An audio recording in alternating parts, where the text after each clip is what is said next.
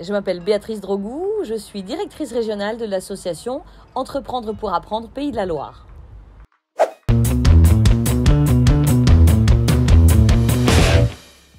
Alors mon parcours, est, est long, il est varié. J'ai intégré EPA à sa création en 2011. J'ai été administratrice et puis ensuite j'en ai pris la présidence en 2012 jusqu'en 2015 où je suis devenue salariée, facilitatrice sur la Loire-Atlantique et la Vendée pour prendre la direction régionale en septembre 2022.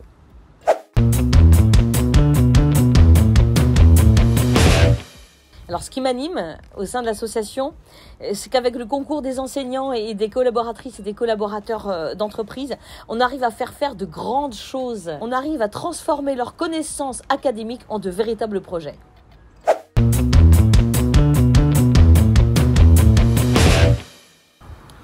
Mon souvenir, c'était euh, en post-Covid, une jeune fille en insertion qui doutait énormément d'elle pour mille raisons.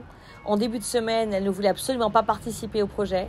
Et le vendredi, elle présentait toute seule le budget prévisionnel de sa mini-entreprise à la télévision.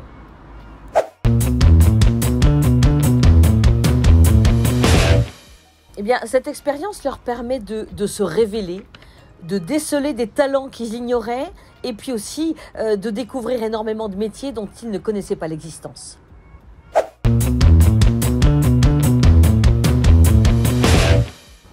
L'audace,